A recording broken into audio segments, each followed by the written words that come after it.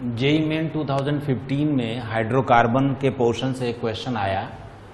In the following sequence of reaction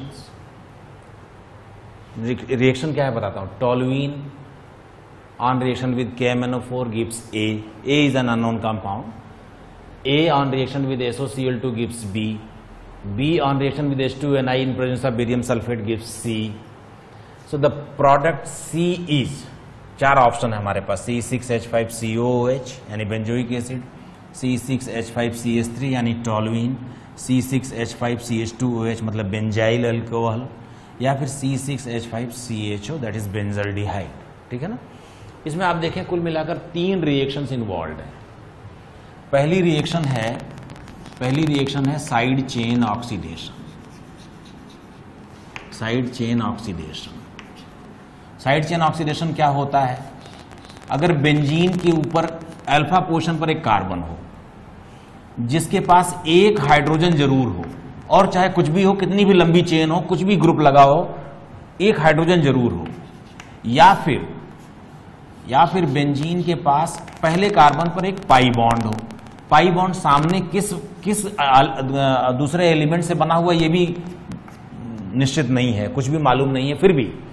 अगर first carbon पर एक हाइड्रोजन हो या पाई बॉन्ड हो तो ऐसी सिचुएशन में इस कंपाउंड को किसी स्ट्रॉन्ग ऑक्सीडाइजिंग एजेंट के साथ रिएक्शन करवाने पर, जैसे K M N O four O H minus O H minus की जगह एच प्लस भी ले सकते हैं, या फिर K two C R two O seven H two S O four या फिर या फिर concentrated H N O three इनमें से किसी भी स्ट्रॉन्ग ऑक्सीडाइजिंग एजेंट के साथ अगर आप इसे ट्रीट करेंगे तो इस वाले कार्बन पर, पहले कार्बन पर, भले ये चेन कितनी भी लंबी हो और इस पे आगे कुछ कुछ भी ग्रुप लगे हो, कोई भी कंपाउंड लगे हो, लेकिन पहले कार्बन पर COOH ग्रुप आ जाता है, यानी बेंजोइक एसिड बन जाता है।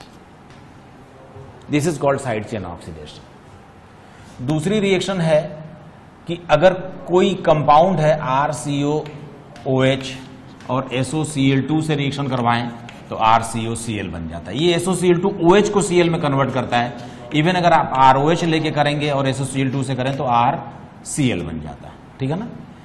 तीसरी रिएक्शन है। तीसरी रिएक्शन है लिंडलास रिएजेंट की रिएक्शन ठीक है ना? लिंडलास रिएजेंट क्या करता है? लिंडलास रिएजेंट की एक बड़ी फ़ेमस रिएक्शन है रोजन मंड्स रिडक्शन रोजन मंड्स रिडक्शन ठीक है ना? रोजन रोजनमंड रिडक्शन क्या होता है? आर सी ओ सी एल को अगर आप लिंडलार से करवाएँ एच टू पैलेडियम या एस टू एन आई और बेरियम सल्फेट, ठीक है ना? साथ में इसमें क्यूनोलिन वगैरह भी लेते हैं, लेकिन क्यूनोलिन ये सब लिखने की ज़रूरत नहीं होती। अगर उन्होंने बेरियम सल्फेट लिख दिया तो समझो सब हो गया हुँ? हम्म? और सल्फ़र। तो ये सी ओ सी एल जो है ना, वो सी एच ओ में कन्वर्ट हो जाता है। एल्डिहाइड में कन्वर्ट हो जाता है।